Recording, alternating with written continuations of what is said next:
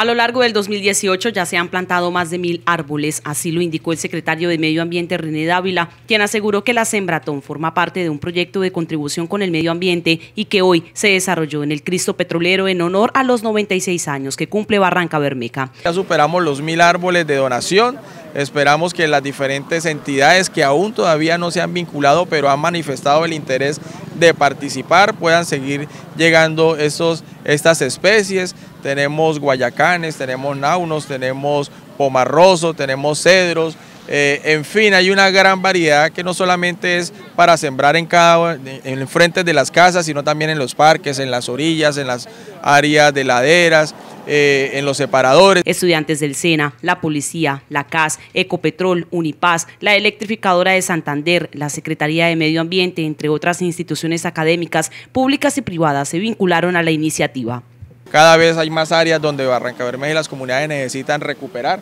esos espacios, esas coberturas vegetales, esos nuevos ambientes para propiciar bienestar en salud y calidad de aire para nuestra ciudad.